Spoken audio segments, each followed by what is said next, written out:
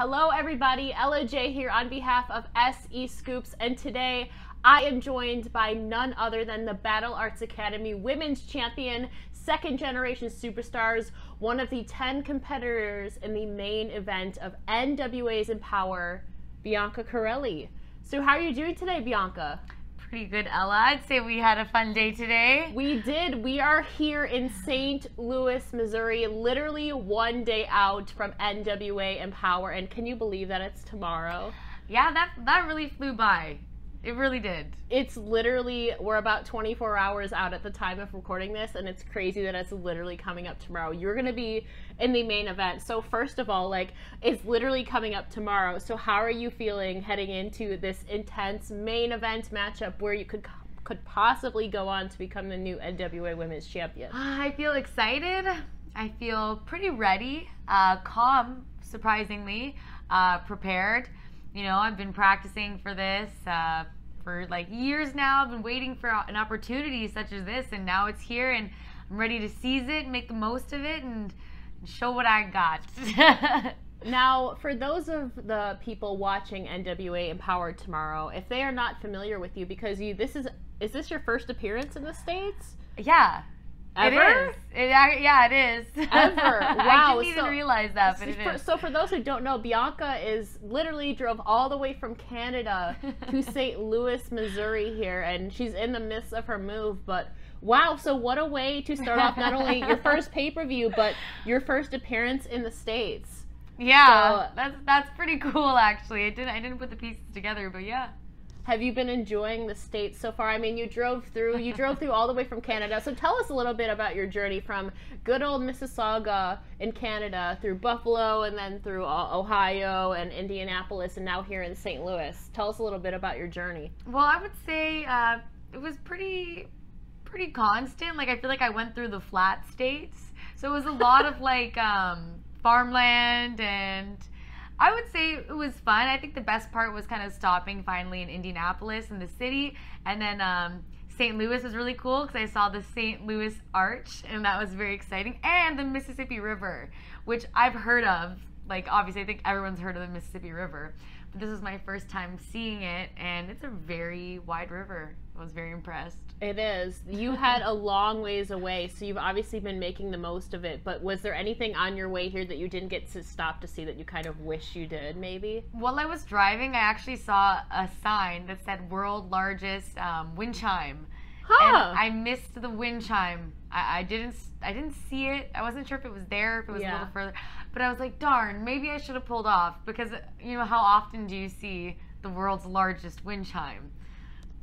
Today, I mean, even in St. Louis, just exploring today, we did see a, a big chess piece. Now, Yeah. uh, maybe that's the world's largest chess piece right around the Chase Park Plaza. There's this like cool chessboard that everybody really has to see, and like there's a chess tournament going on right now at the time of recording this. So it's cool to see what's new to St. Louis, and I've never been here before, and obviously you haven't either. So really, what a way to start off your trip at the states and Yeah. moving here officially. Are you nervous at all to move to Florida, or are you just really excited? right I'm now? really excited. I think like I'm at a point in my life like where th- this was the right time. Like everything's aligned and um, ready to ready to begin this new chapter in the USA. In good old Florida. Now, I mentioned this to you before, but you are literally going from basically Mississauga, where it's cold as heck, and sometimes it's really hot or really cold. At least how that's how it is in Buffalo. But now you're going to literally Florida, where I guess you'll thrive in the heat, as Oh, they yeah. say, right? What are you looking? that? I guess you, I would say you thrive. I, I do. I do. Yeah. What are you most looking forward to about going to Florida? Obviously, you will be training at Devon Dudley's Academy. You will also be staying with Serena Deeb, one of the greatest women, well, greatest wrestler ever. That's her moniker now. Ah. That is, she totally deserves it. I wish she could Yeah, be a part of. Empowerrr. That is the one thing I'm missing out on. Uh, I think a lot of people are going to be missing out on Serena Deeb at Empowerrr. She's definitely a huge addition to their roster and a huge asset. But I mean, how are you? Are you looking forward to moving in with Serena Deeb and her? I know she influences you a lot. Oh, absolutely. Um, you know, I've always looked up to her. I met her when I was very young. She was a friend of my dad's. Um, so I know she is one of the best wrestlers ever. Mhm. So I'm really excited to like, you know, just learn from her anything I can learn from her and and Devon's school will be really cool too. Um, I'm so used to Battle Arts Academy, so to go to a, like a new school and see how they train and what they're doing there, that'll be awesome. Like overall, it'll be great. I'm looking forward to the weather. I'm really tired of snow. I like the heat. Um, well, you're in the you got a perfect heat wave here in St. Louis.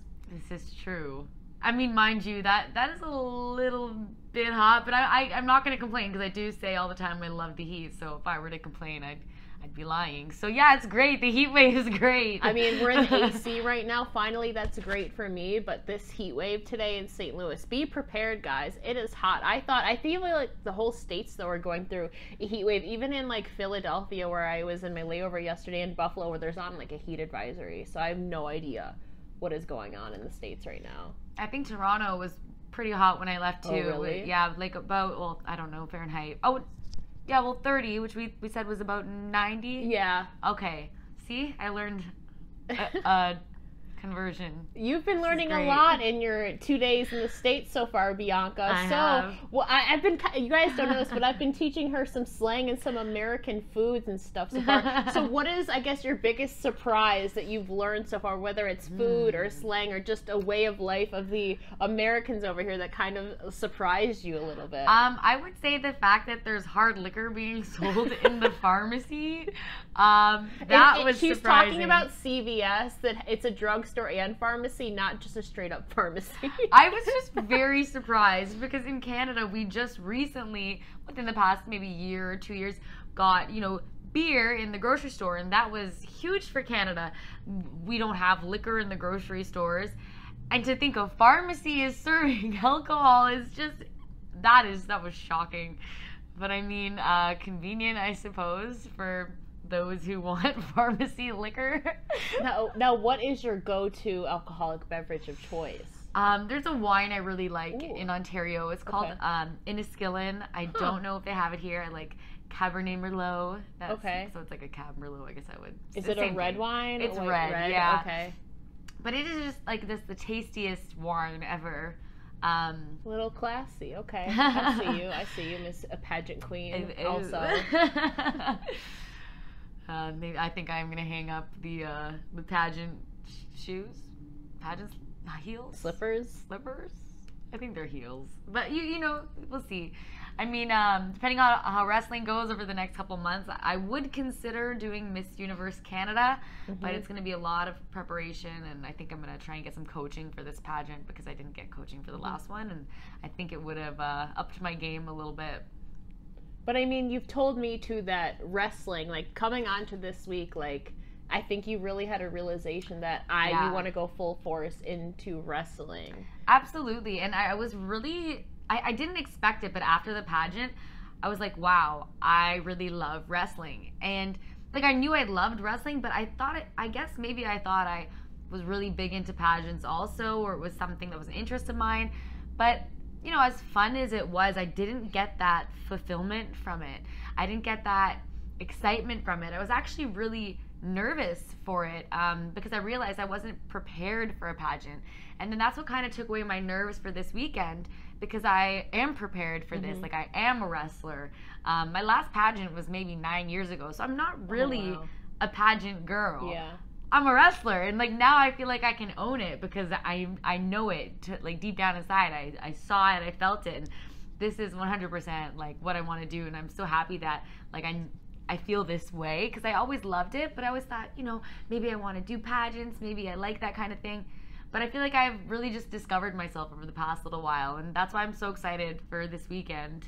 Um, it's going to be a really good opportunity. Well, tomorrow, not even this weekend, like tomorrow. Literally tomorrow, Bianca, you are in the main event of NWA's first ever all women's pay per view against nine other competitors. Competitors, and we don't even know the order of any of this. So you could be going in first and really have to tough it out until the very end, or you could maybe play it safe. I mean, there's no con outs, so you could really hide in a corner and be Oh smart. gosh. But it depends. Everybody, I think, has a different strategy for what order you go into, and there's just so much unpredictability going into this. I don't think anybody can really predict the winner of this. Really, Yeah, I feel like maybe that's one of the reasons why my nerves aren't uh, like settled in. Maybe they will come, um, but it's like there's nothing to really to know for certain. So it's like, how do you prepare for the unknown? So I'm just staying present and ready to absorb it and respond as it comes. I mean, yeah, like you said, you could be coming in last, maybe have to wrestle five minutes. You could also be coming in first and maybe have to wrestle 30 minutes. Now, have what is the longest match you've ever been in, you think? Because you would have to be pretty resilient if you're coming out first or second in this. I would say maybe 12 to 15 minutes. So this is going to be a, a, big test for you if you come in and maybe the first three or four people. Yeah. So you've been amping up your cardio, I guess, yeah. to prepare for it. Well, I do cardio like every yeah. day, and sometimes I do from like half an hour to an hour. So today I think I did 50 minutes. Um, so cardio wise, I think my stamina is pretty good. Obviously, it's a lot different because this is very high intensity um, depending on who you're wrestling. Know, you're exerting a lot of force. Like, so again, it also depends on like the style of the person um, that you're wrestling. You know, if they put you in a lot of holds, you have to use a lot of energy to get out of those holds. Um, if they're shooting you all over the place, you know, you're using that momentum. So again, it's something that's really hard to prepare for, but I feel prepared. I, I think you are too. You feel I prepared. I think a lot of us are prepared too for this really history making moment, not only for NWA, but I think this is really, it's literally bringing in competitors, not only from NWA, but the independents like yourself. And then you have Impact AEW, Ring of Honor, and AAA from Mexico. So you're literally bringing in people from all over the world for this. So I really think that this is going to be a monumental moment for women's wrestling. So as an active competitor in the game, what are your hopes then for after this? After you ladies literally show up and show out, do you what are your hopes for women's wrestling after this?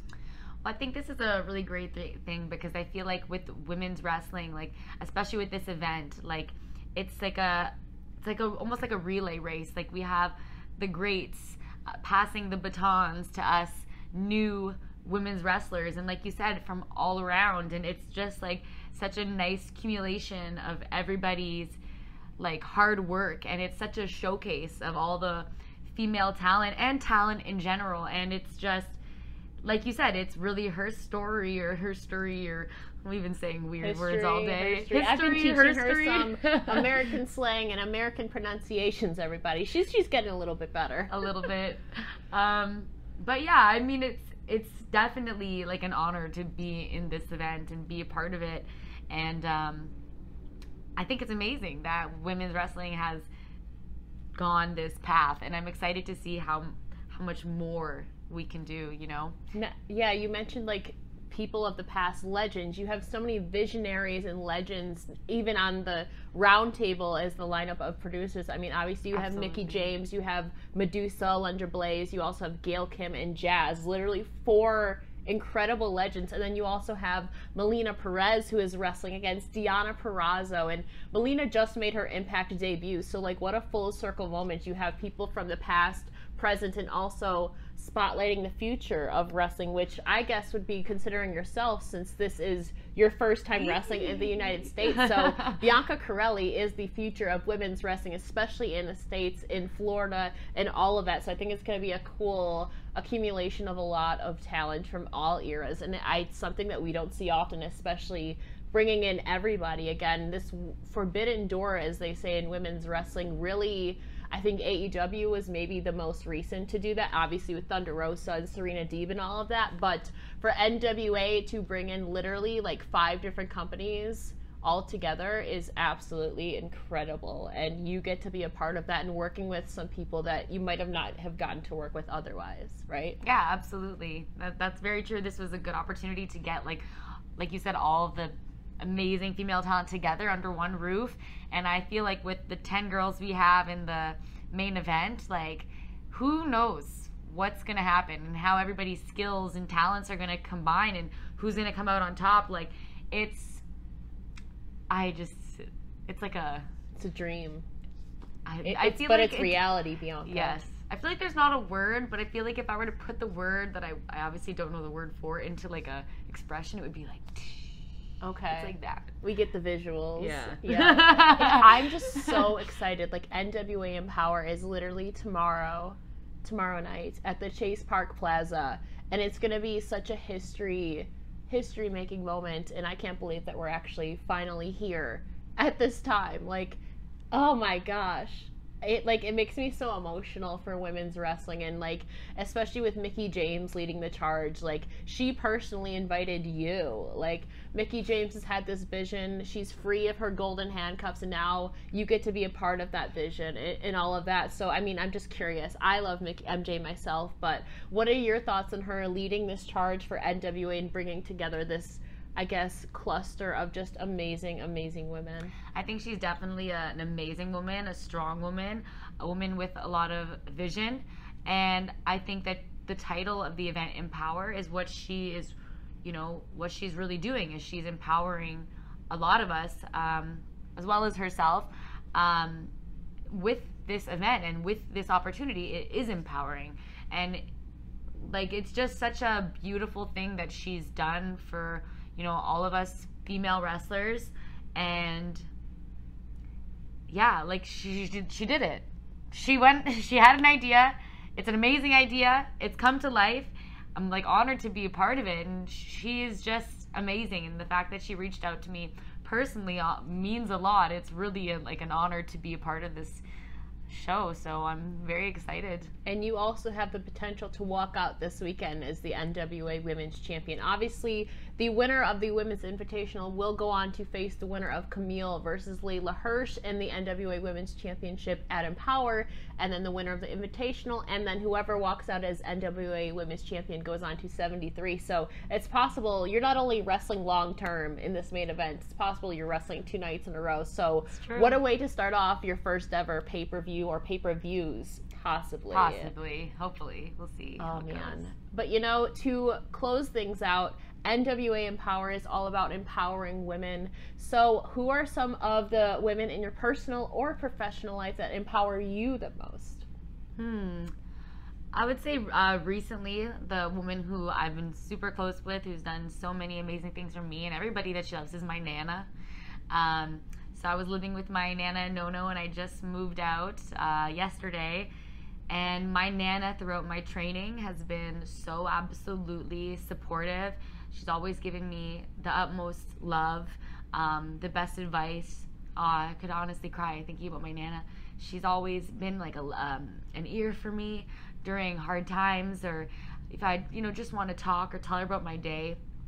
You know, she's always been there for me, and she has the most loving heart. She would do anything for anybody, and um, you know, I look up to her so much, and I'm so thankful for her. And you know, now that I moved I I've been messaging her and calling her nonstop because um, yeah, my Nana is a very special woman, and you know she helped me, you know, find myself in a situation where I've been able to wrestle and been able to empower myself by you know moving on my own and participating in this show. So, you know, my Nana is really special to me. So that that's my woman right now. Family is so important, especially you're basically moving to a place where you know barely anybody yeah. in Florida, you know, except for Serena Deeb, obviously, which you are.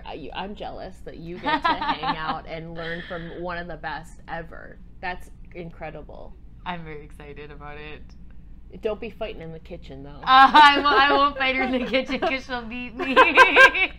uh, we love oh you, Sarita. but no, uh, before I let you go, Bianca, can you please tell everybody where they can find you on all your social medias? Absolutely. My Instagram is Bianca Sophia with two additional A's at the end of Bianca and Sophia.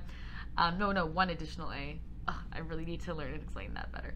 And then my Twitter is Carelli Bianca. Nice, simple. And obviously, don't forget to check out Bianca Carelli tomorrow night at the Chase Park Plaza in St. Louis, Missouri, at NWA's first ever all women's pay per view, where Bianca will be a part of the main event, the headliner, and the NWA 10 Woman Invitational. It's going to be absolutely incredible. I will be rooting for you. Don't tell anybody okay, else. But thank you so much for joining me today, Bianca, and I wish nothing but the best of luck for you and your thank move you. and everything. Thank you so much, Ella. Oh, I'm so excited. Me too.